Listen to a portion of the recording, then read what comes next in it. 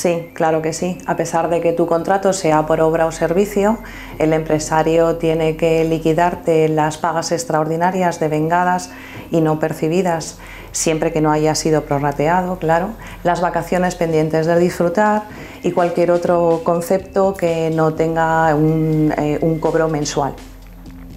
Y por otro lado, también tendrías derecho a percibir una indemnización que el número de días por año trabajado oscila entre 8 y 12 en función del año de contratación y que en tu caso, al ser del año pasado, te corresponderían 12 días.